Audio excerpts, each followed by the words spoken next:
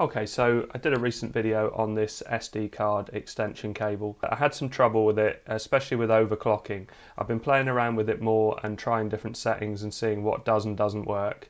Uh, and I've got a file here where I've done all my testing. So it didn't work with my normal overclock of overvoltage 8, ARM frequency 2147 and GPU frequency at 750.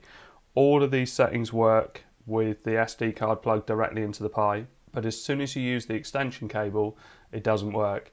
Now my theory in the last video was that there wasn't enough power getting to it.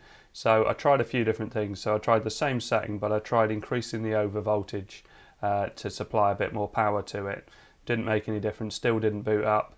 Uh, I tried uh, over voltage of 4 with a lower clock frequency and GPU frequency, still didn't work. Over voltage of 2 with uh, an ARM frequency of 1600. The stock frequency is 1500, so that's ever so slight overclock. Uh, still didn't work. Even with overvoltage 1, I still couldn't get it to boot. Uh, but it does boot if you don't put any overvoltage in at all. So it seems like it doesn't like as soon as you apply overvoltage. And this, I found this in Raspberry Pi OS 32-bit uh, and also in Twister OS 32-bit. They were the main ones I was trying. Um, but it does work in lots of other systems. I did get asked a question in my comments, uh, but if the SD card slot is not accessible, how are you supposed to plug in the adapter? I did try and explain, um, but I didn't really make it clear enough, I guess. So if I go to uh, this Facebook Dosbian group, this is a perfect example. This isn't mine, um, but this is a keyboard someone's created uh, for Dosbian, and you can see they've got a shorter cable than mine, but a cable in there going from the Pi to the outside of the casing. Now, if I go back, I should be able to get one of these, yeah, one of these images has got the, you can see there, that's the SD card slot. So this is why you would do it. And uh, obviously the card slot is accessible, but in something like this keyboard, you're going to want to leave it shut.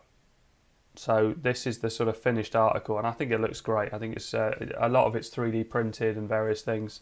But uh, so if that's what you want to achieve, something like that, but still have uh, access to the SD card slot, that's why you would use this cable. You have access to the slot when you're building it, but once you've built it, you don't want to take it apart to change the SD card slot. So if I go to my last Pi News video, I think it was this one, this should have a link in it to uh, one of the cases I'm getting and this was what kind of prompted getting this cable which is this one. So 52Pi are sending me one of these uh, to test and when I saw this image I don't know if this will give me a big yeah that's perfect. Uh, you can see the SD card slot is here. That's inaccessible. Uh, so once you've got that case built and your Pi is fixed in the case, you can't get an SD card in there. Now it's not too much of an issue because the Pi supports USB boot, but it's nice to have the option. I was going to plug the ribbon cable in here and have it on one of the shelves, but maybe this side or coming out this side. You can see there's access to the uh, HDMI's, the audio and the power here.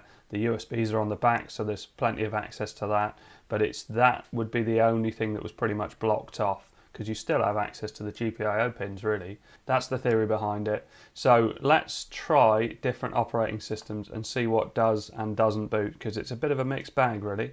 Okay, so this is Dosbian running and uh, this is not overclocked because I don't overclock Dosbian, but you can see it's booted up fine.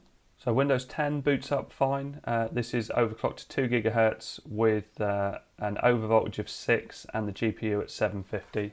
So RetroPie 64 CRT Arcade Blast works at 2 gigahertz. It did seem to boot up a bit slower than normal, but it is working fine. So I've tried MacBuntu and Monk Ubuntu, uh, which are based on Ubuntu 20.04 and 20.06, and both of them stop at this loading screen. Uh, well, it's a different loading screen with MacBuntu, but it stops at this point uh, with the overclock. So Lineage OS works fine. This is the Kang version of Android 10 um, and uh, it's overclocked to 2147, over voltage of 8 and 750 on the GPU, uh, and that works great. Okay, so I had a theory that BerryBoot might work uh, with Twister OS, but uh, as you can see, it's having some sort of issue reading uh, the card This is within the long cable, the 48 centimeter cable. So let's quit that and uh, let's start, let's try it without the cable.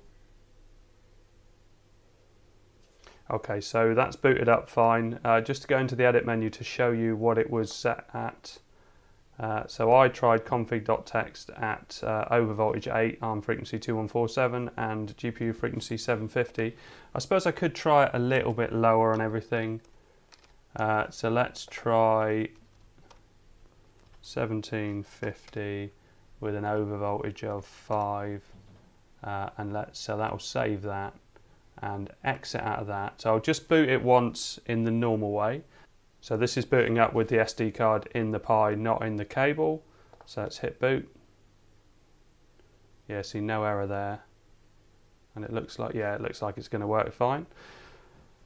So let's try it once again with the cable. I think last time for this test, because I spent ages doing this. Uh, here we go. So it started, um, but it's coming up with a data issue. Uh, so it looks like it's definitely struggling. I can see the green light is on and off uh, and every now and then my mouse pointer stops working. So let's quit out of that.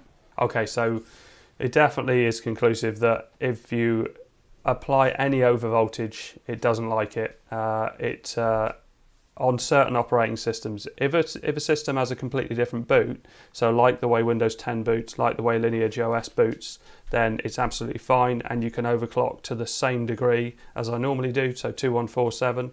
But uh, if you're using most operating systems, so Ubuntu seems to struggle with it, Twister OS and Raspberry Pi OS. I'd be interested to know what other people have had results on with maybe shorter cables or other cables. If you could try, if you've got Twister OS or Raspberry Pi OS, try it at an overclock with an overvoltage and, uh, and see how you get on and let me know. Okay, thanks very much for watching. Please like and subscribe.